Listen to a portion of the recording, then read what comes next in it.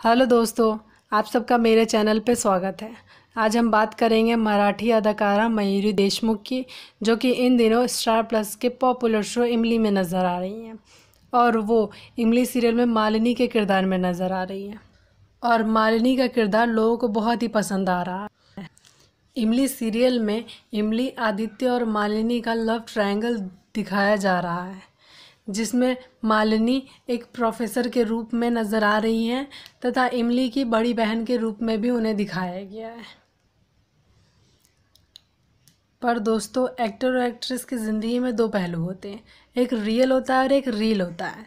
Reel में वो लोग अभिनय करते हैं, पर रियल ज़िंदगी से कहीं हटकर होती है। जैसे कहते हैं ना कभी कभी इंसान अपने मुस्कुराहट के पीछे न जाने कितने ही गम छुपा रहा होता है। इसका अंदाज़ा सिर्फ़ वही लगा सकता है जिस वो गम बीत रहा होता है। इसी की एक मिसाल मयूरी देशमुख भी हैं।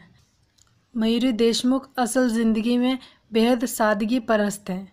सीरियल में अपनी मनमोहक मुस्कान से सभी का दिल जीतने वाली मयूरी के ज़िंदगी में एक ऐसा दर्द आया जिससे वो पूरी तरह से टूट गए।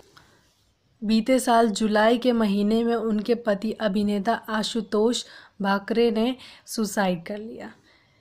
दोनों की शादी 20 जून 2016 को हुई थी। आशुतोष भाकरे पिछले कुछ दिनों से कथित रूप से डिप्रेशन से गुजर रहे थे।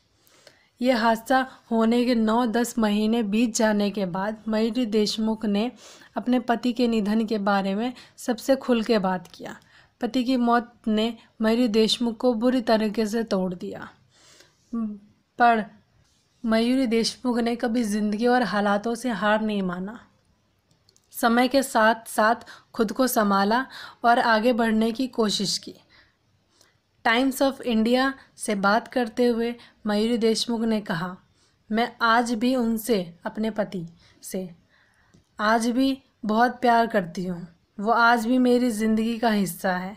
मेरे अकेले रहने के लिए आशुतोष का प्यार ही काफ़ी है।